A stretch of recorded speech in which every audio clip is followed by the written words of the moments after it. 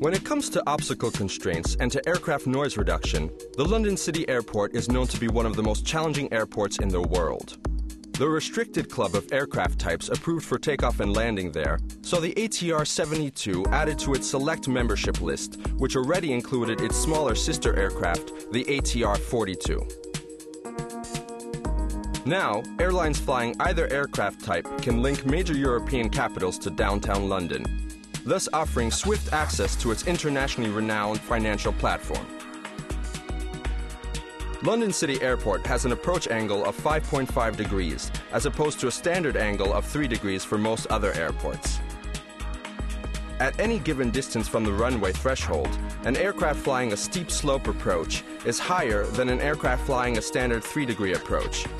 This is for high obstacle avoidance and noise mitigation. It was great, absolutely no problems. I think most of the passengers wouldn't even notice coming into London City. It's a bit of a steeper approach, but uh, really for a passenger who's not very, very familiar with the aeroplane, they wouldn't notice anything at all. Uh, the comfort on it is great, the noise levels are very low, no vibration, great aeroplane. Design engineering using state of the art technology for propulsion and for high lift systems has enabled ATR to not only achieve but be well within the latest ICAO Stage 4 noise regulations, turning ATR aircraft into a quiet neighbor. For each movement, the cumulative perceived noise level of an ATR is by far lower than the noise emission of a regional jet, which, at the end of the day, does make a significant difference to airport residential zones.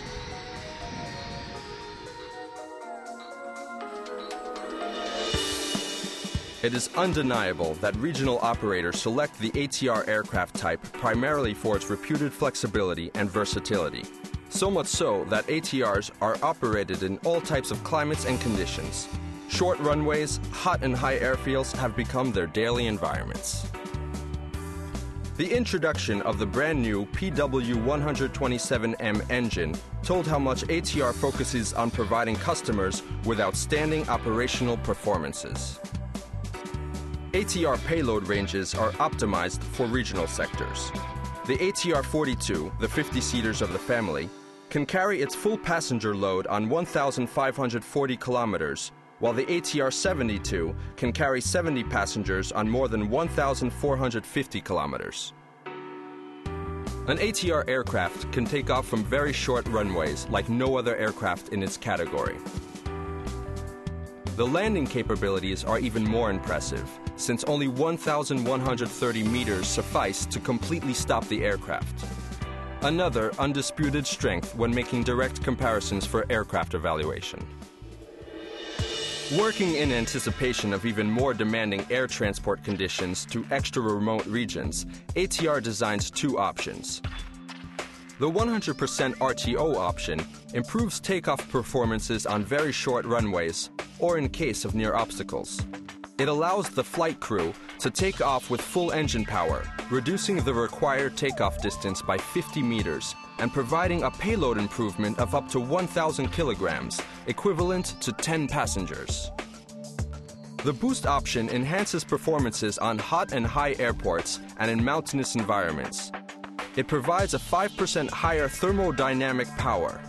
For example, ATR operators with a boost option at the Denver airport have an advantage of 5 additional passengers or 420 kilometers.